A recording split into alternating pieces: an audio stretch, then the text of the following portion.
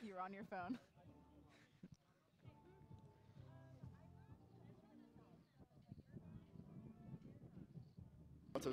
LA take on the Cal Poly Mustangs. How's my audio going? Is my audio okay? Cool. Anytime.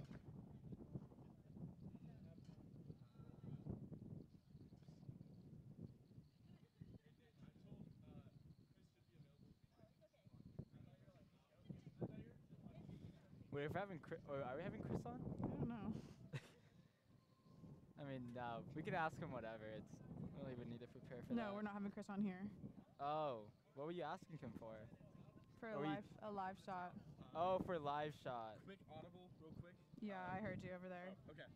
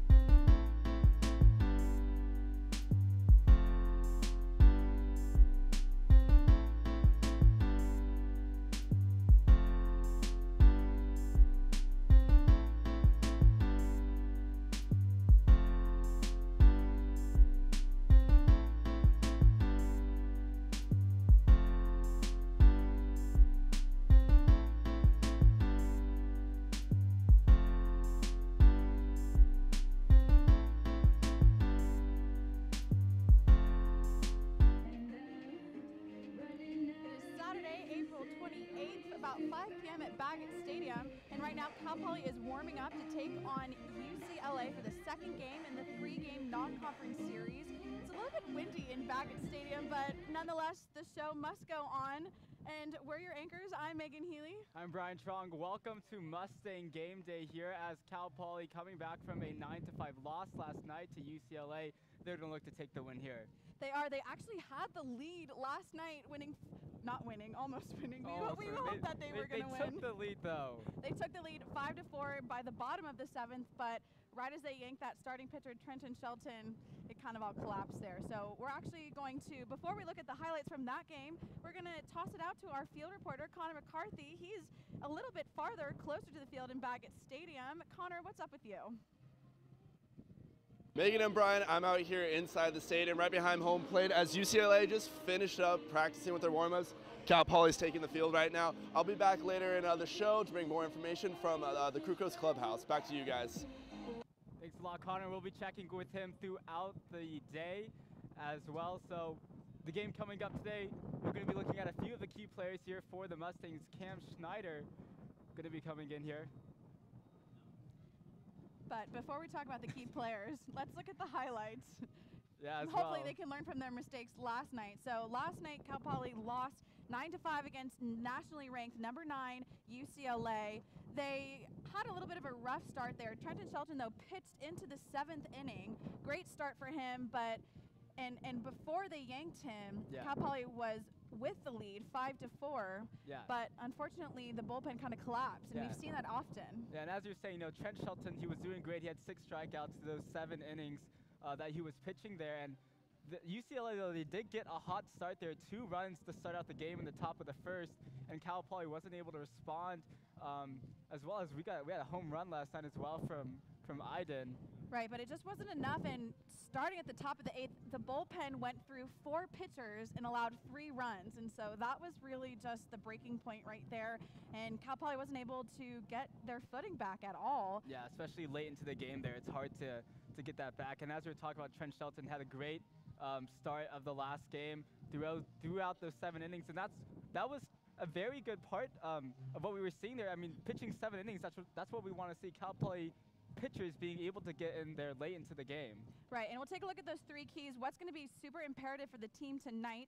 Um, going, hopefully, maybe trying to get that win. Yeah, they want to split the series here and getting a win against UCLA, who has been doing so well.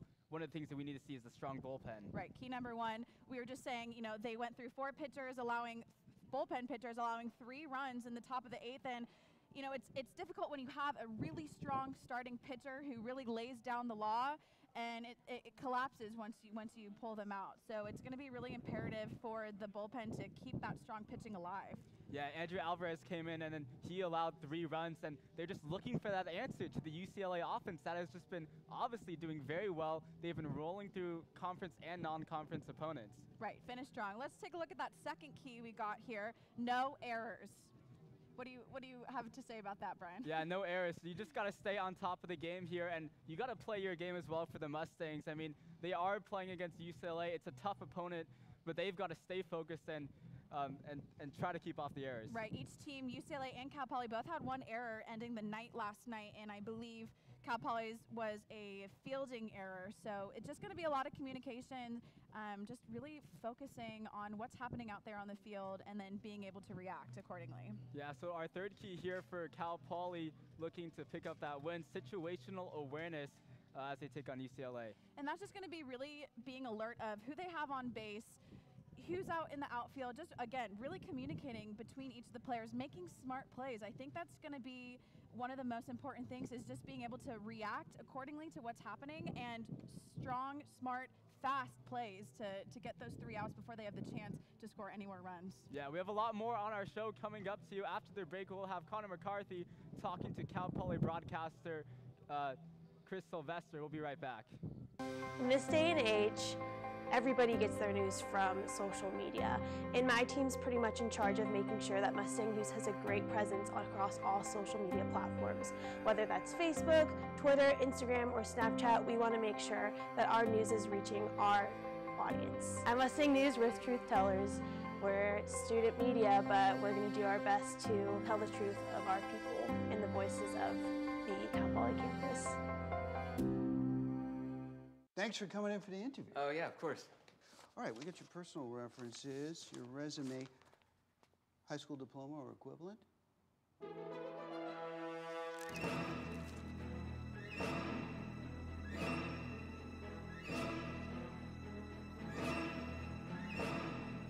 Skip the drama.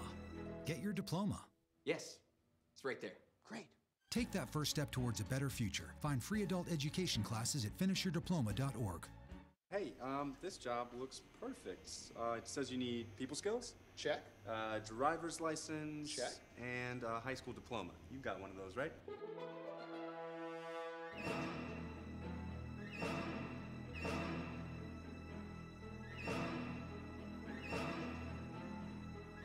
Skip the drama. Get your diploma. I got that. You are good to go. Take that first step towards a better future. Find free adult education classes at finishyourdiploma.org. Hello, welcome to another fresh edition of Poly Playbook. We're serving up all the hot action, cool plays, and everything in between for Cal Poly Athletics. I'm Connor McCarthy. I'm Nate Edelman. I'm Brian Strong. Poly Playbook starts now. Who do you think will win the Super Bowl this year? I think the Patriots are going to win. Hi, I'm Joe Schatz, and I'm here at Spanos Stadium. I'm Megan Healy here at Staples Center. Myself will be taking on Sierra Hyland, best pitcher in Big West softball history. Let's see how this goes. Tune in every week to Poly Playbook, right here on Mustang News. Welcome back to Mustang Game Day. A lot to unpack here as Cal Poly taking on the UCLA Bruins for the second game of the series. They want to split the series here as they were taken down last night, uh, nine to five. Uh, Cal Poly. So I mean, they're going to be looking to pick up that win. I think Connor McCarthy is standing by here with Chris Sylvester. Um, the Let's, Mustang, go, let, us the go Cal to Poly Connor. Yeah, Yeah. let, us see what they're up to. Hey, Megan and Brian. I'm out here, actually the best seats in the house in Baggett Stadium, and joining with me is Chris Sylvester. And actually, Chris got to meet Mike Krukow's, hence the name Krukow's Clubhouse. His name is pretty known around here at Baggett Stadium. But um, yeah, so Chris, tell me a little bit about Mike. Yeah, I was fortunate enough to be out at AT&T Park in the Bay Area a couple days ago and meet uh, Mike Krukow along with the, the rest of the Giants uh, broadcast crew, and he had uh, nothing but great things to say about his time here at Cal Poly. He still has the uh, lowest earn run average of any pitcher to ever pitch here at Cal Poly, which is truly remarkable considering uh, how many great teams uh, on the baseball field that they've had here at Cal Poly. So it, was it was a neat experience, and uh, he, just moved away from San Luis Obispo. He used to call it his home in the off season uh, until a couple of years ago. He finally relocated to the Bay Area, but it, it was a great experience, and I hope for everybody's sake that that sooner rather than later he'll come back for a game, maybe throw out a first pitch or something like that. So why is he such a legend here um, for the Cal Poly baseball team? I I think he sort of started a, a trend of successful professional athletes to come out of Cal Poly.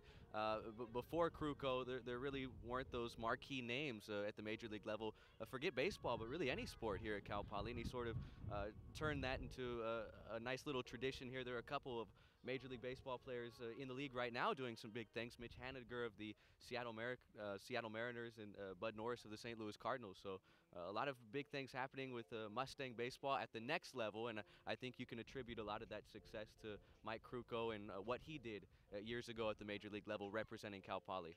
Yeah, so what do you do here for the Cal Poly baseball team? What do I do? Uh, I uh, do all the radio broadcasts. Uh, you can hear us on our flagship radio station, ESPN 1280, The Ticket, uh, in San Luis Obispo County, and then on the live video stream as well at BigWest.tv. Every single game, all 57. Wow. All right, um, and then also the clubhouse is being rebuilt. Um, can you kind of walk me through how uh, the clubhouse is, uh, the process of it coming along? Yeah, it's going to be a multi-million dollar facility. They actually added a, a side wall down here on the left field side, which has shortened the foul territory on the playing field, but it should be ready at some point in 2019, and I think that'll just add to the great tradition here at Cal Poly. All right, well, that's all the time we have. I'll throw it back to you guys at the desk right here from uh, Best Seats in the House. Thanks, Chris and Connor. Those seats look pretty comfy, and Yeah. actually, I got to meet Mike Krukow as well. And talking about leaving a legend, you know, he's excited about the new clubhouse renovations that are in store for the next year. Um, and actually, I know that one of the players is a couple of the players are finishing up their time here at Cal Poly, specifically shortstop Kyle Marinconz, and I got the opportunity to walk the bases with him and get a little bit get to know a little bit more about him. So let's take a look at that sequel.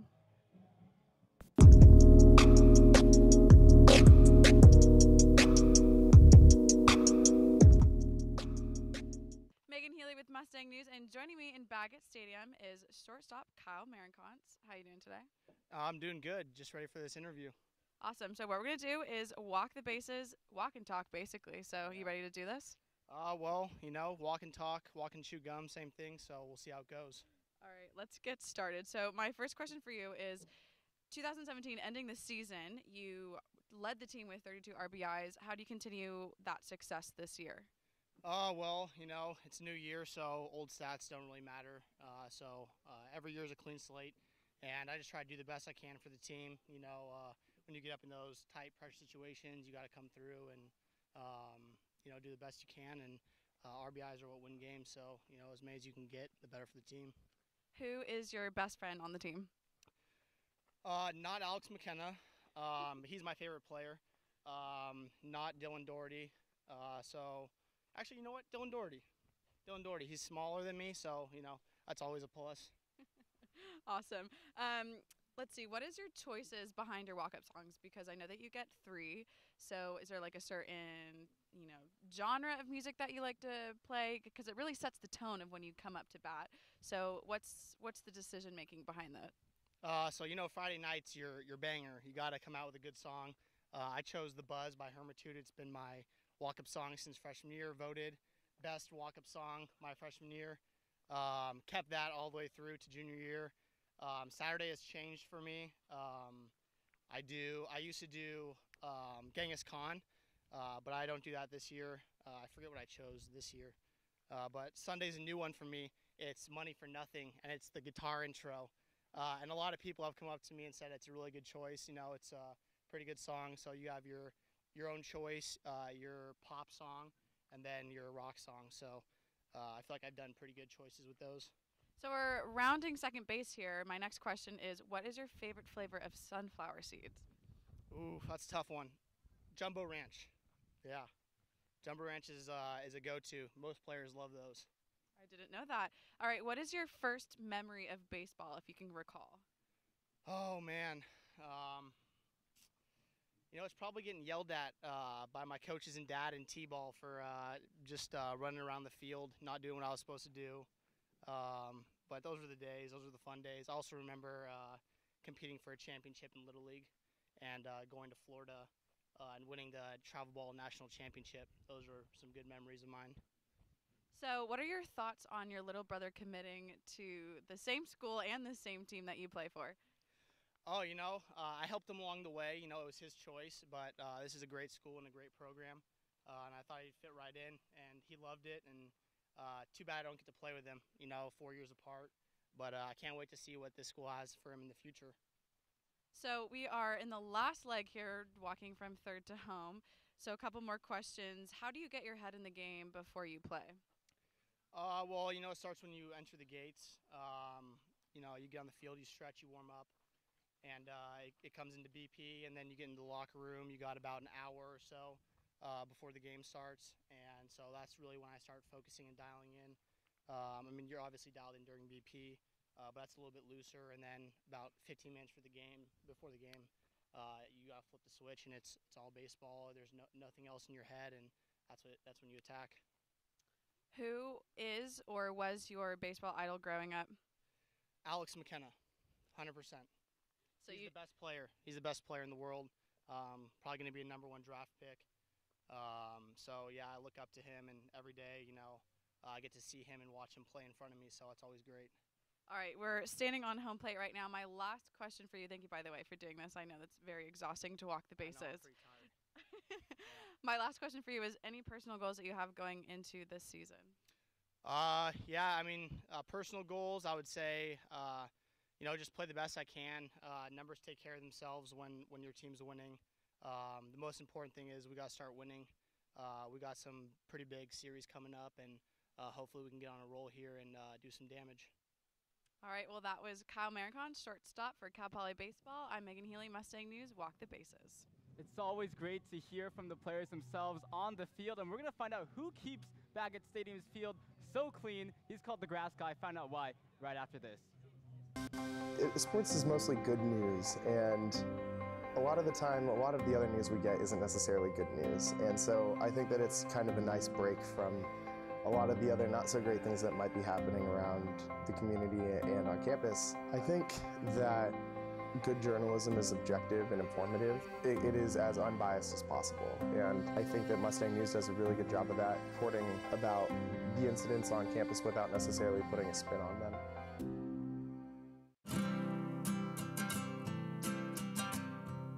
Every day across America, excess food is gathered by a network of good people at local food banks, giving hope to millions of children who struggle with hunger. They've earned their wings, and you can too. Together, we can solve child hunger. Support Feeding America and your local food bank at feedingamerica.org.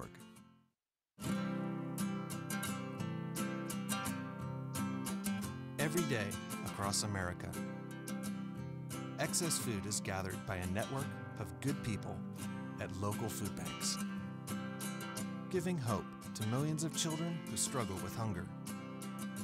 They've earned their wings, and you can too. Together, we can solve child hunger. Support Feeding America and your local food bank at feedingamerica.org. There's one thing you can never have sex without. It's not something you buy. Or something you take. In fact, there's only one way to get it. It has to be given to you, freely. It's consent. Because sex without it isn't sex. It's rape. Consent. If you don't get it, you don't get it. It's on us to stop sexual assault. Learn how and take the pledge at itsonus.org. Welcome back to Mustang Game Day. We have a special guest with us, Steve Spatafor. He's the student field manager here at Baggett Stadium.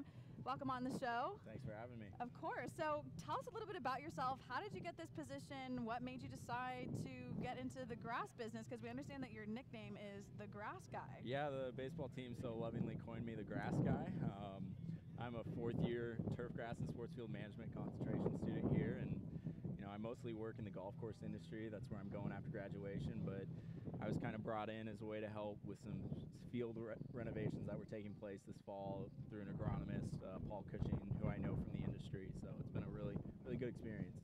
Yeah, so tell us a bit about you know the game prep, maybe prep for the season as well. Just getting Baggett Stadium in order, getting it looking so good, and prepared for the players. Absolutely. This fall we did a pretty major um, soil uh, rem- remediation process. We had some major soil issues that we had to deal with.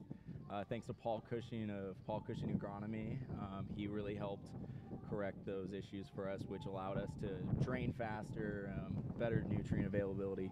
Basically, the way we were able to play this early in the season through all those rainstorms was a huge benefit because of because of the soil work we did. Um, I get a lot of the patterns for the outfields from other places. Tyler Lorenz is a big guy at TCU who I like to follow. He does great work and inspires me with designs. Um, you know, today I was out here about 10:30 in the morning, 10:30, 11. Tonight it's a late night. Have to water after the game, so I'll probably be here till about 12 or maybe even later. Long work days. So I understand that you guys have a pretty uh, eco-friendly, really high-tech water watering Yeah. system. Is that correct? Can you tell us a little bit about that? Uh, one thing I've implemented since my time here is I use a Pogo moisture meter. Um, it creates a map of the infield and the outfield as well as the skirt using GPS coordinates to help me determine how much I need to water, when I need to water, and you know it, it allows me to dial in the infield to be consistent day in and day out for the guys, so they don't they know when a ball is coming at them, it's going to skip the same way for them each time. Yeah, and you were talking about earlier the designs that you're gonna put uh, out on the outfield. Is that just kind of a way for you to to kind of show some artistic side of it? Yeah, absolutely. It's it's one thing I try to change every single week. I you know I try to change the patterns. You know, Brandon Harden at Mississippi State is another person who I follow on Twitter who's given me some advice on patterns, and I've I've stolen one or two pattern for, patterns from him before. Um, so Yeah. So what so what kind of goes into making a pattern out there on the grass? Um, it's basically every and anytime you see a bright stripe, if it looks like it's bright, I was mowing away from the viewer, and if it was a dark stripe, I was mowing towards you. So it's just basically, it's playing with the direction that you decide to mow. What kind of grass are you working with specifically out in the field? Uh, we have a ryegrass stand. Um, we have a little bit of Poa annua in there as well, and Could you give us maybe some of the characteristics for people like me who don't know what yeah. kind of grass that is? um, ryegrass is a great grass. We love it here on the Central Coast. Golf courses, home lawns, anything. It's you know it's provides great color, great characteristics. It's it's what I like to see on a baseball field. That's for sure. Yeah, and when you're watching the game, are you kind of worried about the grass? Maybe it might get a little bit roughed up out there. Kind of paying attention to what you'll have to fix after the game. I, I'm definitely paying attention to some of the stuff that I, I know I'm going to have to touch on afterwards. But you know, I, I joke with the players and my family, hey, that's job security. If they if they mess up the grass, I got to come back in there and fix it. So. Definitely. Have you done a specific design or any, you know, sort of something different to the field that you've seen the players' reaction and they were just like totally stoked on it? Um, they were the the ESPN game. They were really, you know, I put a lot of work in that, getting a checkerboard pattern on both the infield and the skirt. Um, so they they both they they really thought that was cool. So. Um, what, do you have anything special planned for tom- tomorrow or in the Maybe in just the, the rest of the future? season. Yeah. Anything exciting you want to hint that we should be you looking know, out for? I would definitely say the next homestand we're gonna have something special. We have we've had three straight homestands, so it's been very difficult to change patterns week in and week out.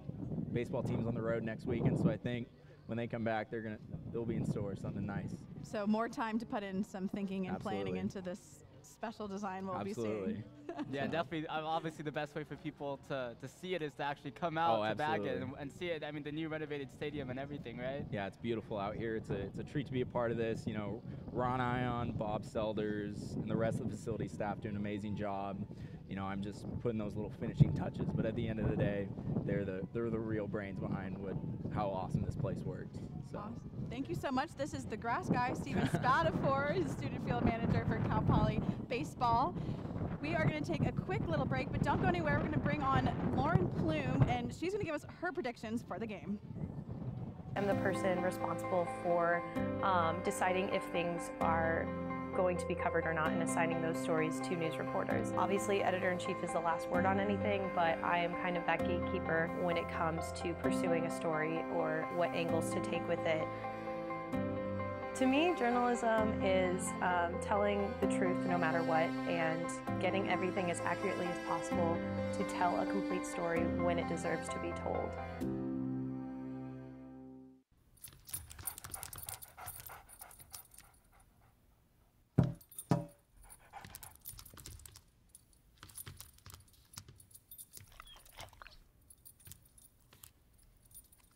There's a shelter pet who wants to meet you.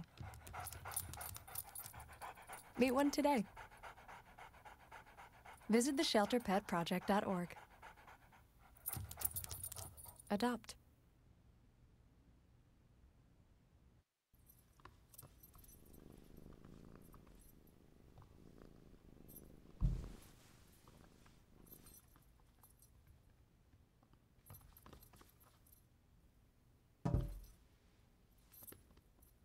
There's a shelter pet who wants to meet you.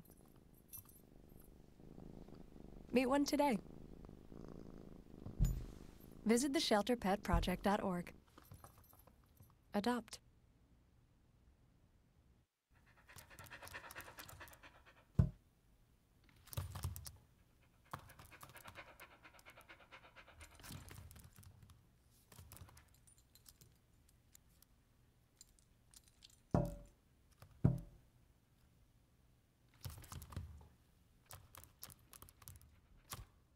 There's a shelter pet who wants to meet you.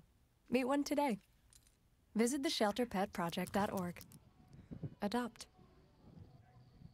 All right, and sitting next to us is Lauren Plume. She is a student team manager for the Cal Poly baseball team, and she's got her predictions for us. Let's specifically talk a little bit about Elijah Skipps. You know, he is coming off an injury from last season, and he has really just stepped up to the plate, literally, and performed really well. So, what do you have to say about him? Elijah Skipps has been incredible in his. Well, he's started nine games, or actually started eight games. Um, these last eight games that he's played in a row, he's had a hit in eight straight games, and most of those are multi-hit games. So really, he's kind of unstoppable at the plate. The only game he was held hitless that he's played in was his first game back against Dartmouth, and he really wasn't fully recovered at that point and ready to start playing again. And that's why he took a little break again, came back against Davis, went three for three in his first game back, and had a grand slam. Like, it doesn't get much better than that, really. no, definitely not. Yeah, exactly. And I mean, we're looking for something here from the Cal Poly offense for someone to step up. So you think it's going to be him? Any other guys there you think are going to be stepping up? Elijah Skipps is definitely the guy like right now that when somebody comes up to the plate, I'm like he's gonna get a hit. Like he's he's formidable at the plate for sure. Um, somebody else that you can definitely look out for is Cal Marinconz. As of recently, has gotten really hot uh, in the two spot. Um, and he's just he's a guy that you would rely on. You want to rely on when he comes to the plate. You know he's gonna get a hit. Um, just much like Elijah Skipps. Yeah. yeah. No, definitely. And you know you can see this graphic of him right here, and his batting average is almost about a three. Um, and I would even say Tate Samuelson, the freshman, has been doing Yep. really well. I mean, he, he in depending on where he is in the lineup, I'd say he he performs really strongly as well. Yeah, he hit a little lull um, around Northridge. It was kind of like there's a few games where it just kind of he dropped off in batting average a little bit, um, but that didn't stop him. He got right back. He's back to the way he was. And as a freshman, that is so impressive to see. Right, high potential. Yeah. Yeah, and going back to Skipps, I mean, as a senior here, seeing him coming off of an injury, I'm sure that's a great leadership thing here for, for the Mustangs. No, to have him come back and uh, not only with his words, because he's such a leader, even when he's not playing, but to come back and show that he's a leader as well. It this is what he's firing up the team. Like he he is the driving force between what Cal behind what Cal Poly is doing. um, yeah. Yeah, so what's his leadership style? Is he lead by example on the plate? Is he hyping the guys up, you know, with pregame speeches or something? Uh, he's definitely a bit of both. Um, when he wasn't playing, he's all about like talking to the guys, always positive, always giving energy to the game. He even like would come travel out to games. He wasn't on the list for. He was injured. He couldn't play. He'd come. He came to Arizona, like uh, just on his own, just to you know support the team. And then now that he can play, he showed up and he's he's just our our firecracker in the fourth spot right now. Let's swing on over to a little bit of the pitching side of it. Last night we saw, you know, Trent Shelton pitch into the seventh inning. Great starting pitching right there. Really held at the mound. But once he was yanked from the game, the bullpen kind of fell apart and lost. Honestly, lost the game. Um, let's talk a little bit about us, one specific pitcher, Matt Aarons. What do you have? What does he have in store for us tonight? So Matt Aarons has been a bit of a wild card this year, and as the whole bullpen has been a bit of a wild card this year. They're either really hot or we have issues. Um, if Matt Aarons is hot, he will shut the game down. Like we saw at Long, or when we played Long Beach, comes in as a freshman, ninth inning, and or sorry, yeah, top of the ninth inning. Getting my uh, bearings here. Top of the ninth inning, we're down by one run, or we're up by one run. We have to hold on to the win. The bases are loaded. He strikes out two guys. As a freshman, that's incredible. But then you can also have a day where he comes out and he just doesn't have control. Um, and that's kind of what we saw from him over the summer a little bit. Is he was uh, like had this huge velo. He was like pitching 96 mile an hour fastball, which as a freshman is crazy. But then had to rein that in and like lowers below It's like 85 now, but has control. So that's super important. So it's kind of like it's it's a hit or miss. But I think if he's on, we're we're we're set. yeah, we're seeing him coming into these higher pressure situations. And what else is high pressure than facing the number nine team in the nation here with UCLA? We're looking, Cal Poly, they're looking for the answer to the offense of, the Bruins. And is the answer in Darren Nelson here, who is starting for the Mustangs at the mound? Two parts there. I know you're talking about in your three keys the errors and our bullpen. So I'm going to go more to the errors side of it. Darren Nelson is not a strikeout pitcher, which is, there's nothing wrong with that, but he relies heavily on his defense. We had a really good defensive game last night, but that was behind Trent Shelton, who is a strikeout pitcher. He has a killer slider, and, you know, he gets guys looking, he gets guys swinging. He, Yeah, he just knows how to get it done. strikeouts last night. Yeah, Darren Nelson isn't the same type of pitcher, but if our defense is strong behind him, we can definitely be in this game. So the no errors, it sounds like an obvious thing, but with Darren Nelson pitching, it is super important because our defense and Darren Nelson complement each other. And if they're clicking, then we can win this game. Right. What about the wind? We actually, you know, from our hair right now, it's, it's blown pretty hard. Yeah. How do you think the team's going to be able to adjust to the the high wind power? Um, I think we're used to playing it in San, like in the wind in San Luis Obispo. Um, I think most of the time in like the late afternoon when we practice, like two to four o'clock, it's the windiest time of day. So I think that uh, we're set and we're ready for it. Um, I don't think there's gonna be too many adjustments made. Probably just like a, um, like approach the plate really is really what we're looking at here difference wise. Yeah, I mean, what are some other key players we should be looking out here for the Mustangs? Uh, other key players to look out for, uh, I think Colby Barrick is definitely somebody that we should be looking out for, especially at the plate. Um, he, it, it was a battle for that left field starting position, and Colby just came out slightly on top, just in the batting percentage. Um, And every time he comes up to the plate, with he's very clutch with the bases loaded or with people on base. And I think that's super important. If he keeps like doing what he does when people are on and bringing guys home, I think that'll uh, really help us out today. Awesome. Well, really quickly before we go to this last graphic here, just tell us what do you think the final score is going to be? Uh, let's say six five Cal Poly. Well, there you have it, Flume's Oh. predictions. All right, after the break, we're going to be speaking with Cal Poly Athletic Director Don Oberhelm and don't go anywhere. In this day and age, everybody gets their news from social media, and my team's pretty much in charge of making sure that Mustang News has a great presence across all social media platforms. Whether that's Facebook, Twitter, Instagram, or Snapchat, we want to make sure that our news is reaching our audience. At Mustang News, we're truth tellers. We're student media, but we're going to do our best to tell the truth of our people and the voices of the Cal Poly campus. Our mission for this year is to basically get the news first so that Cal Poly students are aware. Like there have, so far to start off the beginning of the year, there have been things such as like parking and bus routes and students have so many questions about that. And so that kind of goes to what I want to do for this year and is I want to get that information out to students. Good journalism means that we are getting the story out, but that it includes all the information, that it answers all the questions that people are asking. Me and my boy Matt had it good. He had catnip that was off the hook. But one day, he brings a girl home, and she's allergic to cats. Every sneeze was a nail in my coffin. Now I'm in a shelter. It's decent, but they don't even have Wi Fi.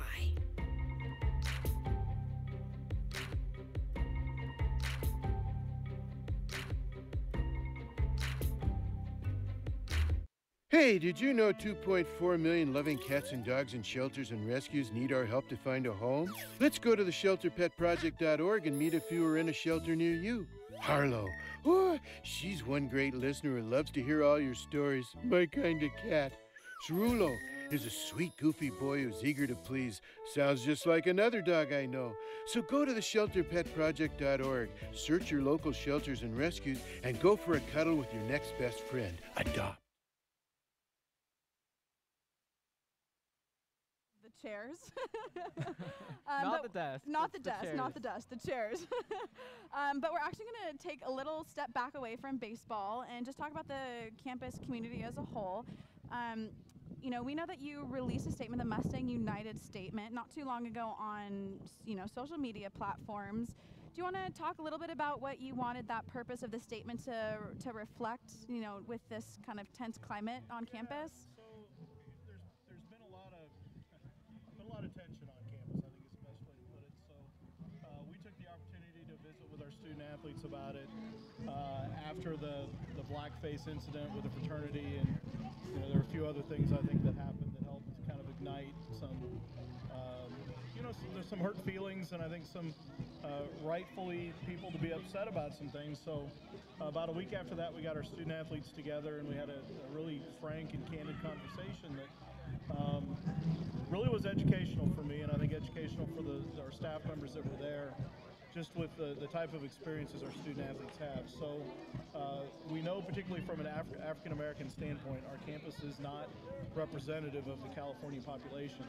Uh, our athletic department is a big part of that African American community that we have on our campus. So I thought it was important that we had a conversation, and uh, I heard some things that really troubled me and some things that really made me very proud uh, of our university. What troubled me is sometimes uh, we have some individuals that don't feel so safe and welcome uh, on campus and in our community. Uh, at the same time, I heard from those, those same individuals how happy uh, and welcome and um, excited they are to be in Mott Athletic Center and with their teams, that that is a place that they feel safe and they can be themselves. So my message to the campus is let's learn from our student athletes. Not from me, not from the administration, but from our student athletes. Uh, they can teach us some valuable lessons because they have created their own little society in Mott uh, where it is an, a truly inclusive and welcoming environment. You touched a little bit upon this, but specifically you said in conversation, quote, in conversation with our student athletes, I've learned that many of our students of color only feel comfortable within the confines of our buildings and with their teams.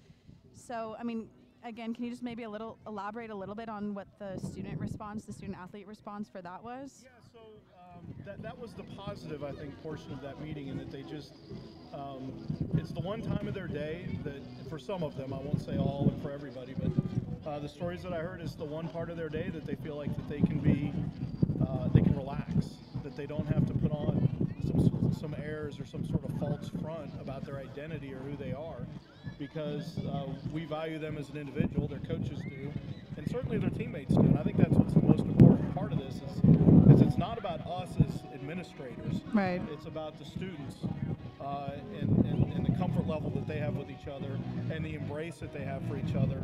Um, that I would like to see some leadership from our student athletes for the rest of the campus and how we've been able to accomplish that. For us, it doesn't matter your origin, your economic background, your ethnic background, your religion. None of those things matter to us. Can you play? And can you be a good teammate? And if you can do those two things, you're one of us. We love you. so why why is why can't the rest of society follow this? And, and of course, we look at the rest of the campus the same way. So if, if you can study, if you can go to school, you can be a Mustang. What difference does anything else make? So, and I think we've we've embodied that within the.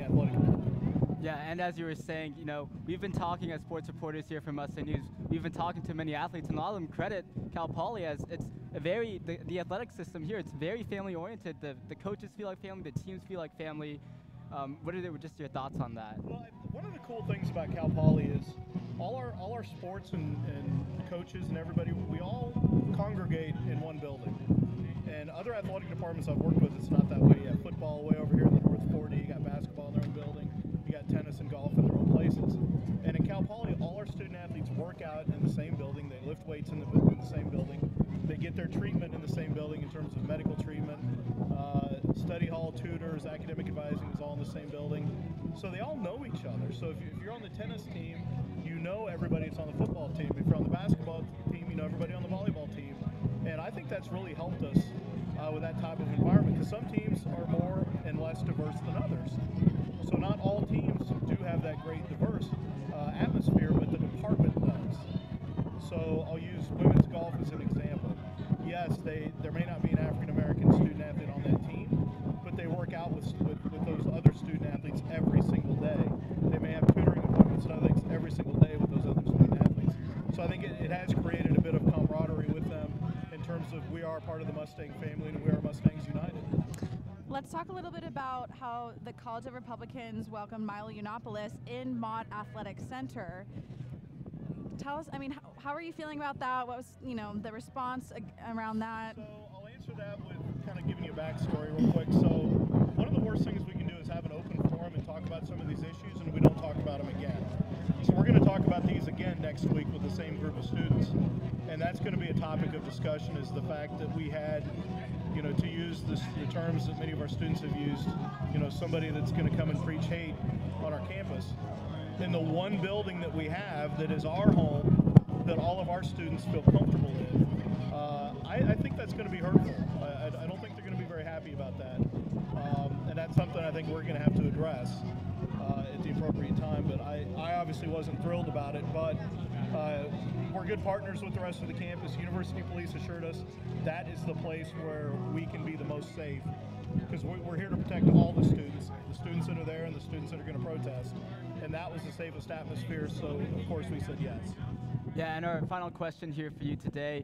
Um, as you were saying, Cal Poly Athletics, it's a great family-oriented uh, place, and it's a space where people can talk about these issues. So how do you get that into the rest of the Cal Poly community? How do you have these student athletes be leaders for the rest of the community I here? that's a great question. I, I, th- I think one of the things that we need to work on is getting more of our student athletes involved with the rest of campus, and that's already been a topic uh, of conversation. They're really busy. You know, I mean, you know how busy you guys are. Oh, yeah. Add 20 hours a week of practice plus five hours of weightlifting plus blah blah blah. You know, it, it's a hard, it's a, it's a tough road already. And now to ask them to do even more, I think is a real challenge for us. But uh, there's a lot of student activities and student groups that are involved with helping trying to lead this on campus. So I'm going to encourage them to get involved with those other organizations. Um, and then I think that's a great question to ask them, and that's one of the things I'm going to challenge our student athletes uh, later on this week on Wednesday with that same question. Okay, we have these problems. It's time for us to lead. It's time for you guys to lead. You know, this is one of those issues that the gener- each generation should teach the generation ahead of them how to do this better. So this is an area my generation did far better than my parents. And this is an area that your generation is doing far better than mine. So I think I think it's time for our, our campus and really everybody to start learning from you guys about how to do this and how to do this better. Well, we thank you so much for coming on the show and giving Very a little bit of your here. of your insight on this topic. After the break, we are going to talk a little bit about our final thoughts on the game as Darren Nelson will take the mound in about 20 minutes. Don't go anywhere. The thing about broadcast is it's not just on paper, so now you're actually seeing people's emotions and their reactions. And I think you just really learn a lot by being able to go face to face and also have a camera and capture those emotions. And broadcast is so fun in my opinion because you what you, you can take what you see and show it to your audience and show them exactly what you're witnessing or other people are witnessing at the moment. They told me a bottle couldn't dream. That I would never become a superhero.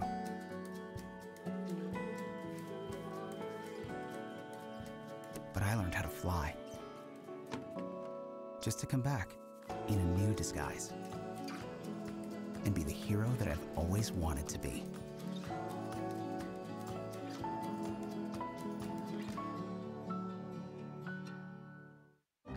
You make me wear my bike helmet. Taught me never to run with scissors. And to follow the swimming rules. You tell me to stay away from drugs. To always buckle my seatbelt. So why do you keep a loaded gun in your drawer? How safe is that? You ask them to follow some safety rules. Now they're asking you. In fact, they're counting on you. Never let your gun get into the wrong hands. Remember, always lock it up. Visit ncpc.org. They'll test you. Try to break your will. But however loud the loudness gets, however many cheese puffs may fly, you're the driver, the one in control. Stand firm. Just wait. And move only when you hear the click that says they're buckled in for the drive. Never give up till they buckle up. Just a little under 20 minutes left here at Baggett Stadium as Cal Poly taking on UCLA for the second game of the three-game series, looking to split the second game. Megan, we've been talking all day about the players. We've had Lauren on the on the chairs here. I mean, what are the final things we're going to be looking at?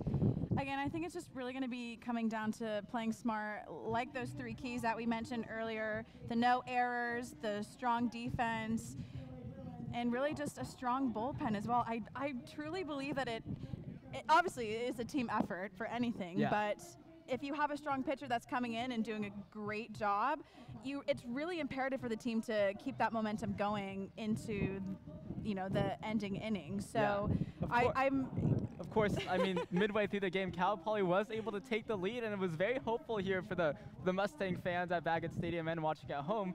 And, you know, it's this high pressure situation because UCLA, the inning right after Cal Poly took the lead, UCLA um, picked it back up and they retook the lead to make it six to five off of a wild pitch as well. So it's seeing, you know, Matt Aaron's coming in possibly here in that high pressure spot.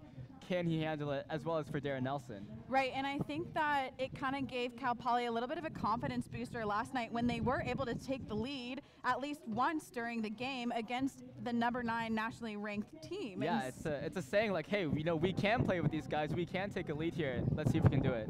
Right. So Darren Nelson is, you know, gearing up here to take the mound against another freshman pitcher, uh, Petaway, and it's going to be an interesting game. Fans are now pouring into the stadium, which means that we have to unfortunately wrap up our show here. It's actually. Unfortunately, Megan, it's your last game day. You will be missed, though. Thank you. A last game day anchoring. So Yeah. thank you so much to everyone who's watching and to our whole crew. Mustang Game Day, Megan Healy, and Brian Truong. signing off.